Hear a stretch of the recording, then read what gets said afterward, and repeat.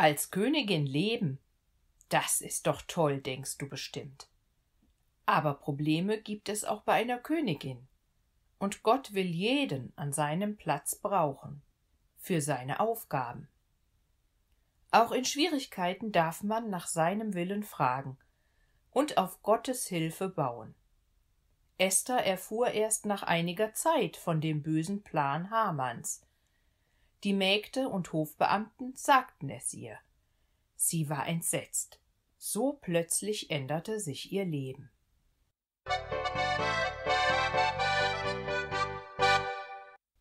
Wie furchtbar das war. Alle Juden sollten getötet werden. Und überall im Reich wurde getrauert, geweint und gefastet. Mein Cousin war in Sacktuch gekleidet und streute sich Asche auf den Kopf. Tiefer kann man seine Trauer gar nicht zeigen. Ich musste ihm Kleider bringen lassen, denn so durfte er ja nicht in den Palast kommen. Hatak, mein Diener, sollte zu ihm gehen, damit ich weiteres erfahren konnte. Mordecai berichtete Hatak, wie alles gekommen war. Ich faste und trauere, weil ein großes Unglück über uns kommen wird. Alle Juden im ganzen Reich sollen am dreizehnten Tag des zwölften Monats umgebracht werden. Haman hat so eine Wut auf die Juden, auch weil ich mich nicht vor ihm verneigen wollte. Er behauptet, alle Juden würden die Gesetze des Königs nicht befolgen Deshalb hat er den König dazu veranlasst, eine Anordnung in allen Landschaften zu verlesen, dass die Juden umgebracht werden sollen. Sogar zehntausend Talente Silber sind als Belohnung für die Ausführung angesetzt. Hier, nehme die Anordnung mit und zeige sie Esther. Ich gebiete ihr, dass sie zum König hineingeht, um ihn um Gnade anzuflehen. Sie soll vor ihm für unser Volk bitten. Hattak berichtete mir alles von Mordecai. Ich war verzweifelt. Wie sollte ich das anstellen? Der König wusste doch nicht, dass ich auch zum Volk der Juden gehöre. Also sandte ich Hattak wieder zu Mordecai, um ihm mein Problem zu schildern. Eigentlich müsste er das doch wissen. Jeder im Land weiß davon, dass für jeden, Mann oder Frau, der zum König in den inneren Hof hineingeht, ohne dass er gerufen wird, eine Anordnung gilt, nämlich, dass er getötet werde. Denjenigen ausgenommen, dem der König das goldene Zepter entgegenreicht, dass er am Leben bleibe.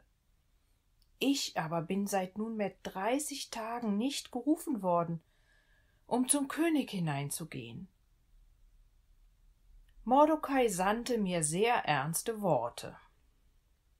Denke nicht in deinem Herzen, dass nur du im Haus des Königs von allen Juden entkommen wirst. Denn wenn du in dieser Zeit schweigst, so wird Befreiung und Errettung für die Juden von einem anderen Ort her kommen. Du aber und deines Vaters Haus, ihr werdet umkommen. Und wer weiß, ob du nicht für eine Zeit wie diese zum Königtum gelangt bist.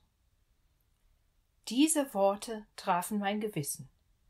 Ich wollte mich brauchen lassen für die Rettung der Juden. Und so sandte ich Mordecai diese Botschaft.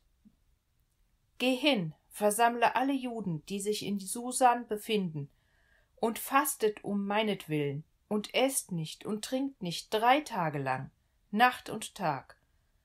Auch ich werde mit meinen Mägden ebenso fasten.